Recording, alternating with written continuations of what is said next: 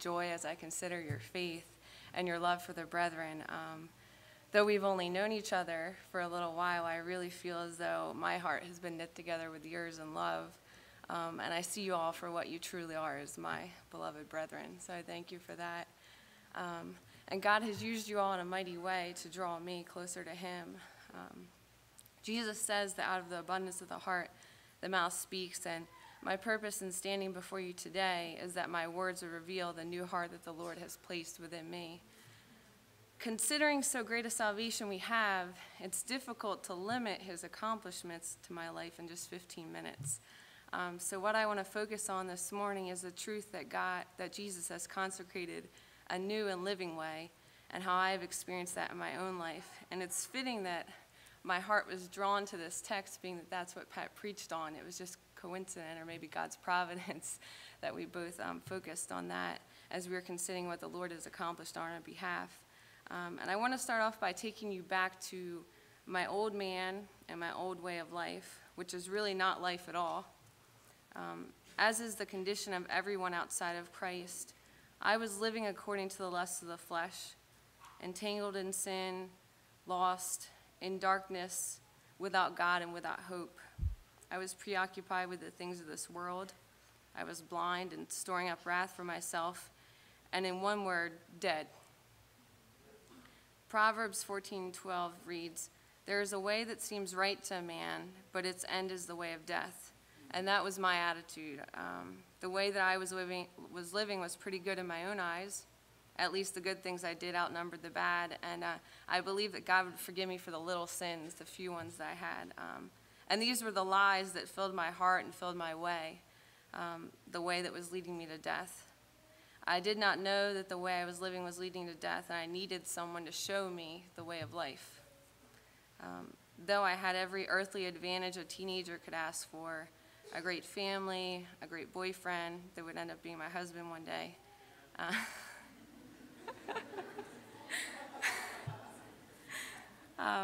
popularity and success in school and athletics that would lead to a college scholarship. Um, these passing pleasures did not satisfy a thirst that I had within me. Um, I felt incomplete and without purpose, and like the woman at the well, I needed living water. I just didn't know it yet. I grew up in a home where Jesus was never mentioned, although I had great parents um, that brought me up to try to do uh, treat others the way that I would like to be treated. Um, I looked at creation that surrounded me, and I, I started to believe that there was a God. God must exist. And I knew that there were things in my life that disgusted him. But I had no idea how to make things right between God and I. And something that you'll find out about me is that I always like to have a plan. I like to be in control, and I like to fix things. And what I realized is that I had no idea how to get to God I had very little control against the lusts of my flesh, and there was no way that I could erase my offenses toward God. My spirit was unsettled within me, and I had a yearning and a desire to know more about the Lord. And praise the Almighty that those that diligently seek Him will find Him. And that as you draw near to Him, He also draws near to you. And according to God's perfect timing, He brought someone into my life to share the gospel with me as I was earnestly searching for him. And it was September 2000. Um, I was 17, and I was invited to a Bible study. And this was the first time that I ever really read the Bible, the first time I ever understood anything that I was hearing about God. And it was as if a veil had been removed from my eyes. And now I understood my current condition and its remedy. I was far off from God at that time, storing up wrath for myself, but God, in His great mercy, had provided a way out of that, from that condemnation of sin. Um, one of the most arresting thoughts for me when I first heard the gospel preached was that I could be forgiven for all of my sin, and not only that, but God would remember them no more. Um, Jesus took away the sin of the world and brought in everlasting righteousness, and I was awestruck with the extent that God went to to reconcile the world to himself. Um, prior to hearing the gospel, I had no understanding of the suffering and sacrifice of Christ. I mean, Jesus left his glory in heaven. He humbled himself to take on the form of a man. He lived a life of sorrows. He died that I might live. He was bruised for my iniquities. He was marred beyond that of any man. He was made to be sin He was delivered over to the hands of godless men, and he was forsaken by God. Um, but what I didn't fully comprehend at that time was exactly what he accomplished in those sufferings. Um, this is what this meeting is all about, what he accomplished. And what I began to understand over the most recent two years is that he completed the work that he was given to do. He conquered death and set captives free. He took away the sin of the entire world. He ended the law as a means of righteousness. He made peace through his blood. He delivered us from this present evil world. He provided access to grace. He destroyed the devil, and he provided a living hope. Um, living under the law uh, was an emphasis on myself. I'm kind of fast forwarding here. Um, let me see. Only Christ could accomplish these things that we're talking about. And the first time hearing these things, I fell in the one that is truly lovely. Prior to hearing these things, I didn't think there was a way to the Father. He was too far off, and I was too far lost. But the good news of the gospel is that Jesus is the way to the Father. There is no other way to the Father but by him. And the way that I was living was leading to death, but the way of Jesus led to everlasting life. Understanding the labor of God in Christ to make a way to him and realizing his kindness created in me a godly sorrow that led to repentance. And I determined to no longer live for myself, but for him who died and gave himself up for me.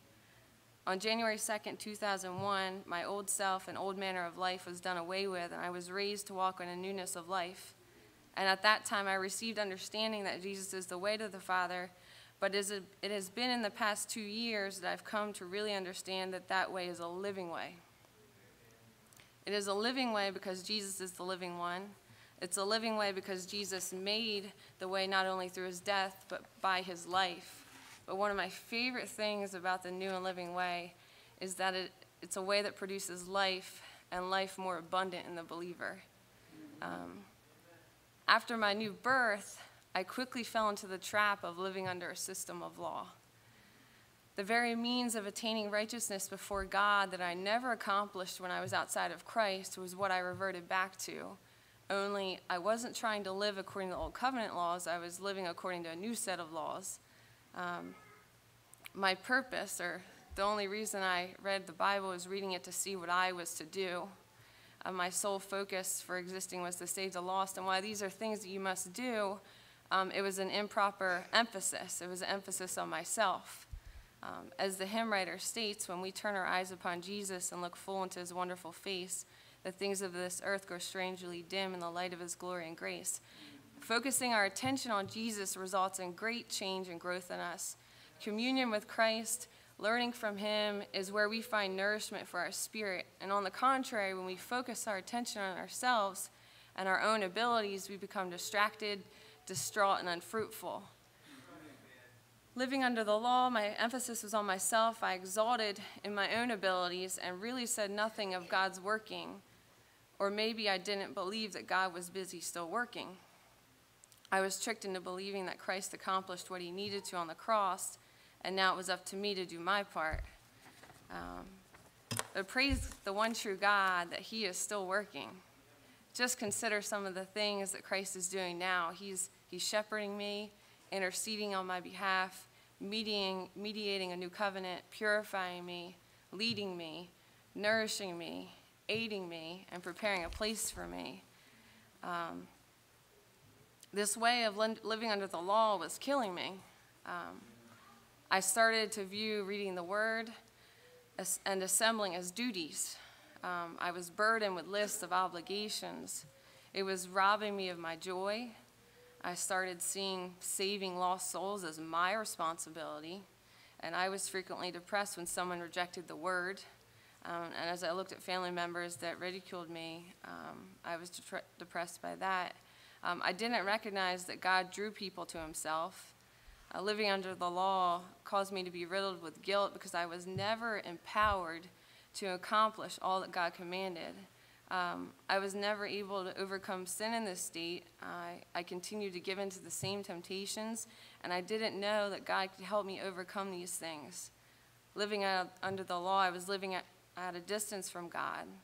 This was, was because of that sin that kept creeping into my life. It was causing the separation between God and I. Um, and this guilt that caused me to hide from God at times. Um, I was on a spiritual roller coaster without any real consistency. I was without peace and generally restricted as to what I could receive from the Lord. Living under the law, um, I had placed God in this neat little box.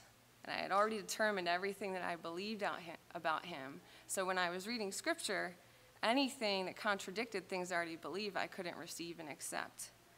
That's what living under the law did for me. Um, it's impossible for God to teach you anything. He will not teach you anything when you live in this way. Um, but praise God that He rescued me from that way and helped me to see the new and living way. I would describe this new and living way to the Father as one that is full of grace. Um, again, it was through the preaching of the Gospels that gospel that my eyes were open to this truth.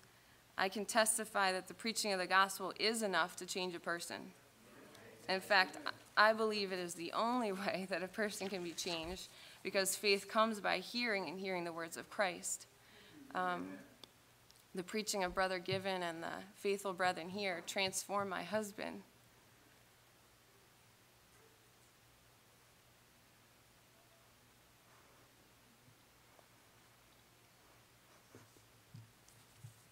I saw the struggle that he went through.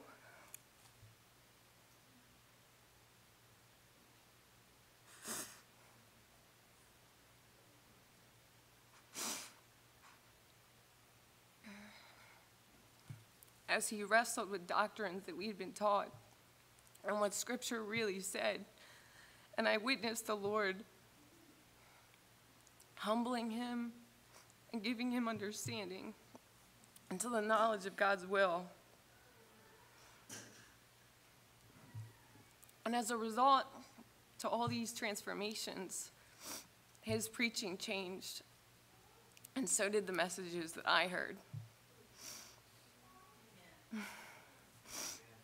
The power of God is seen in the message proclaimed, and after coming to face to face with his power and hearing the truth, I was challenged in my thinking and my heart was softened to really hear the gospel.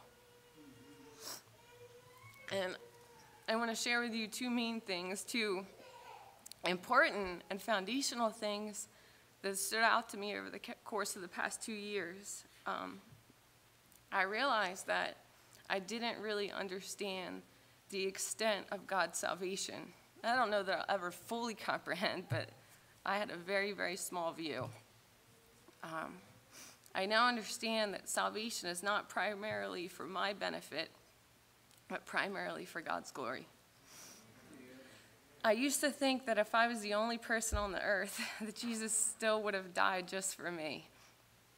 Uh, but God's salvation was in motion before the foundation of the world. God's salvation is a lot bigger than I previously thought. Salvation shows God as just and the justifier, and He is glorified in His work because he is the only one that could reconcile the world to himself. Not only has God taken away the sin of the world, but he has provided a solution of the corrupted nature. He has taken away guilt and made the believer complete. He has placed a piece of himself inside the believer to will and to work for his good pleasure. The letter, the letter to the Ephesians remains as one of my favorite pieces of scripture. It is a good reminder to me of what Christ has accomplished on my behalf. And it reads Remember that you were at that time separate from Christ, excluded from the commonwealth of Israel, and strangers to the covenants of promise, having no hope and without God in the world. But now, in Christ Jesus, you who formerly were far off have been brought near by the blood of Christ. And I love that Christ has brought me near. There is no better place to be. And my husband always says that in order to get all the gooey good stuff that God has to offer, you have to get in close. And scripture continues For Christ himself is our peace, who made both groups into one and broke down the barrier of the dividing wall by abolishing in his flesh the enmity. Prior to Christ's sacrifice and my being united with him, God's wrath was abiding on me. But now I realize that living according to God's grace, it really does produce life. Those that are born again aren't described, uh, described as should, but are living in a certain way. The new and living way under grace results in faith. God God increases my faith as I see Him more clearly because I become more convinced that He is completely able to do all that He has promised. Living under grace now results in great joy within me because I know that my present sufferings are not worthy to be compared to the glory that will be revealed to me. Living under grace, I have hope as the anchor of my soul. Living under grace, I have freedom from the slavery to sin. Um, Christ has set me free, and I am free indeed. And my new man is created in power and righteousness. I, I have a part of me that cannot even be tempted um, as long as I'm nourishing that new man, I have a great um, weapon against Satan and his fiery darts. um,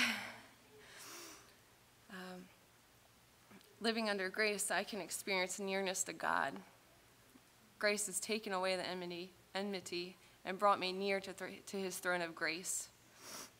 Living under grace, I have a clear conscience before the Lord. Christ has cleansed my conscience by the washing of regeneration. Living under grace, there's a transformation within me by the renewing of my mind in Christ. Living under grace, my heart now desires to please God with the new heart that He's put within me, and I'm able to do so because He helps me. Um, God has placed um, a new heart within me and written His laws upon my heart. Living under grace, I have a spirit that's characterized by power and might.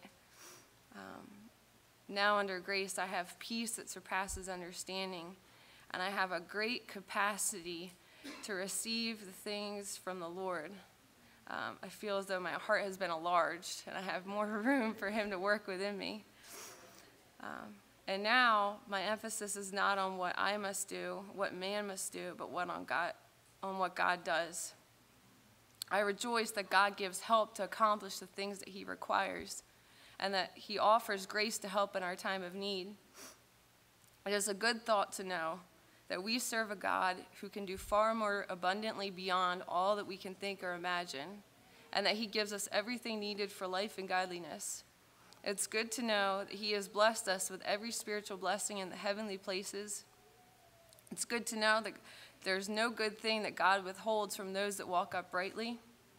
It's good to know that no matter what the circumstance is, that God's grace is sufficient. It's also good to know that greater is He that is in us than He that is in the world, and that I can do all things through Christ who strengthens me. To make it safely through the wilderness of this world will require, require a lot of grace. But praise God that He will multiply grace in us through the knowledge of Christ. And these are now the thoughts that occupy my mind and fill my heart. I stand before you as a new creation. I'm not who I used to be because Christ has consecrated a new and living way to the Father. Jesus is now my way, my life, and my truth.